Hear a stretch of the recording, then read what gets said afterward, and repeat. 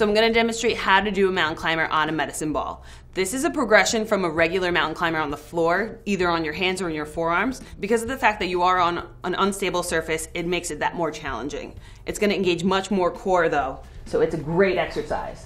So the first thing you wanna do is get your hands on the med ball, just like so.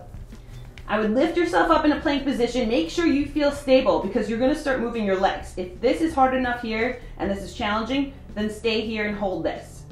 So the mountain climber, you're just gonna bring one knee in and alternate with your left.